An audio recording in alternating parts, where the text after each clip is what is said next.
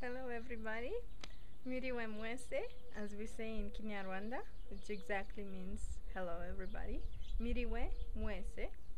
Uh, today we'll be talking about a beautiful story about these wonderful earrings that traveled all the way from Rwanda and they're made by uh, single mothers and teenagers that are orphans.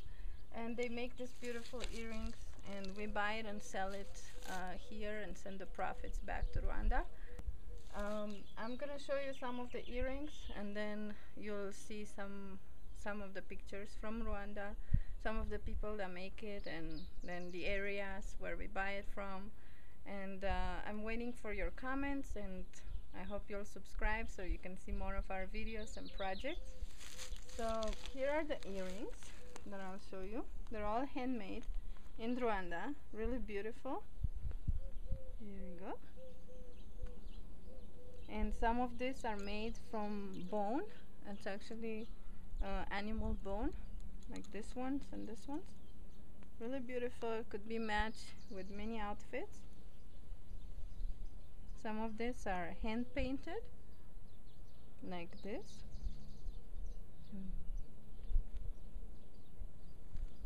Beautiful colors, bigger, smaller, and we always get more all the time. So if you have a special request or you have anything that you would like to order from there, we also have baskets and wooden sculptures.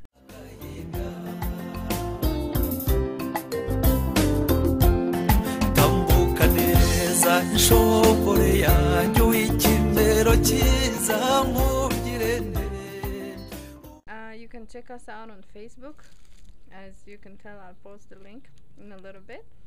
And um, let us know what you think. Thank you for watching and have a good day.